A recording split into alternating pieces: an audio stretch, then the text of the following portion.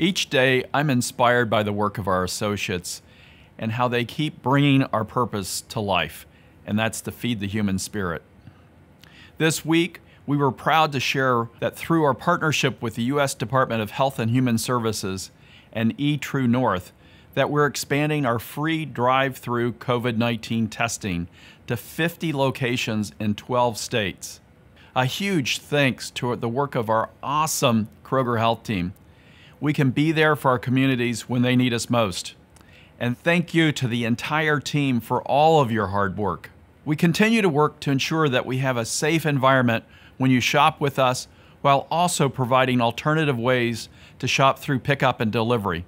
We are providing all store associates with masks while they work.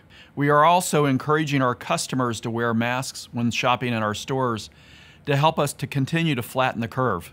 For added convenience, we are now combining your unused March fuel points with April fuel points. And now they won't expire until May 31st. We are also accepting SNAP EBT payments at our pickup as well, expanding our popular pickup service to more customers and further reducing the number of customers entering our stores. This is now available to all of our pickup locations across the country.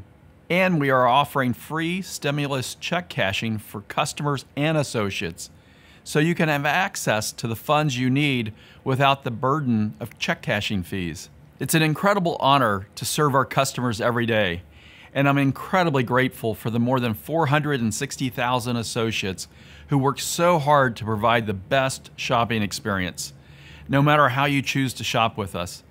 A huge thank you for shopping with us. A huge thank you for our associates for all you do.